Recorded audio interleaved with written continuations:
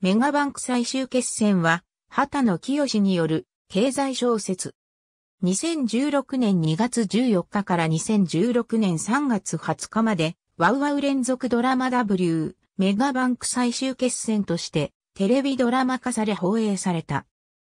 突如として、巨額損失をかぶり経営破綻の危機に立たされた日本最大のメガバンクを舞台に、凄腕ディーラーである専務と出身業ごとのヒエラルキー、等に屈することなく真面目に仕事をこなす、総務部長代理の二人が、買収を目論む、外資系ファンドや官僚との攻防戦を繰り広げる、姿を、時事銀行内部の圧力や出身業ごとのヒエラルキーを交えながら描く。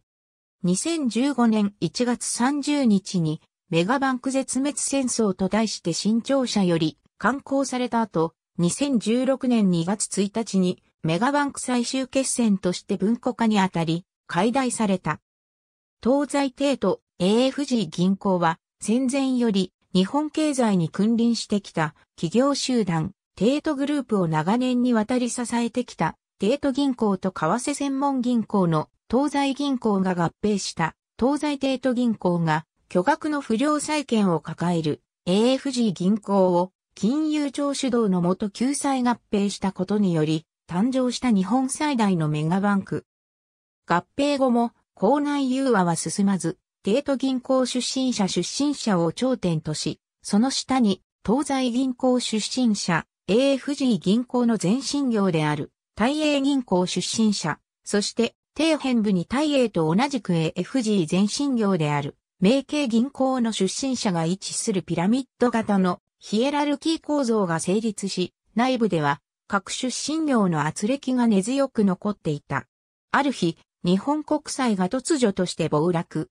そんな中、テフグ銀行専務である、東西銀行出身の凄腕為替ディーラー、桂光義は、頭取と金融庁、長官、五条の密談によって5兆円の超長期国債が極秘裏に購入されたことを知る。日本国債の暴落によってそれは数兆円規模の巨額損失をテフグ銀行にもたらし、急転直下、テフグ銀行は債務超過、経営破綻の危機を迎える。桂は少しでも多くの利益をひねり出し損失を軽くするべく一大相場を張り、さらに頭取や副頭取とともに五条に巨額損失の計上を今年度決算から除外する。特別措置の実施を五条に掛け合うが、校内の派閥構想により情報漏洩が起きた結果、取り付け騒ぎが発生。しかし、明慶銀行出身者の総務部長代理、二平昌平の起点により取り付け騒ぎは収まり、五条が特別措置の実施を認めることを発表したことで、ひとまず経営危機は回避される。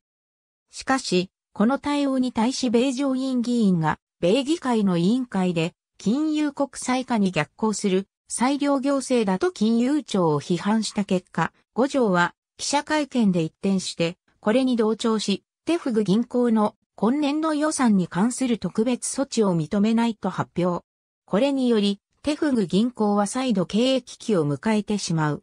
外資系ファンドがテフグ銀行を買収のターゲットに定める中、桂は二兵と共にテフグ銀行を救うべく奔走する。